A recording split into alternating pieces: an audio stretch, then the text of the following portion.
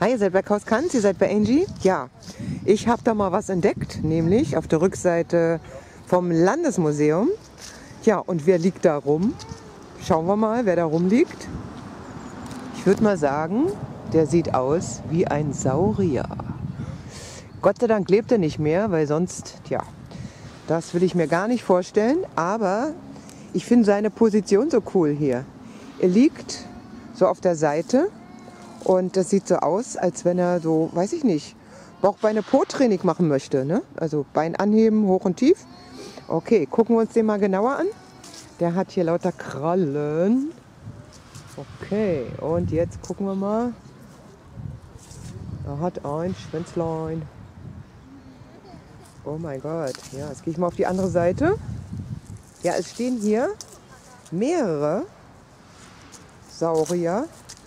Die Namen, ja, würde ich ein Kind fragen, der wüsste sofort, was für ein Saurier das ist. Ich habe ehrlich gesagt keine Ahnung. Ja, aber ich finde, er sieht imposant aus. Oh ja, so traurig ist das manchmal im Leben hinter mir.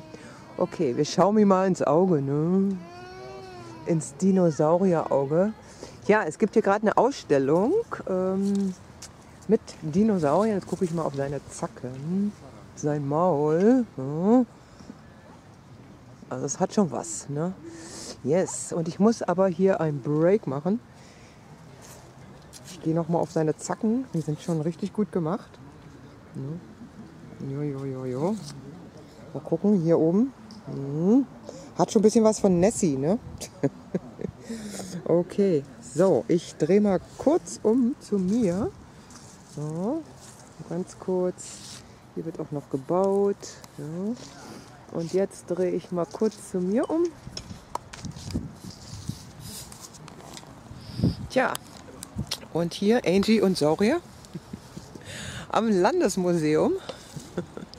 Und äh, es gibt hier noch zwei weitere. Also ich gehe mal auf Suche. Ich bin sicher, ich finde sie. Bis dann. Tschüss.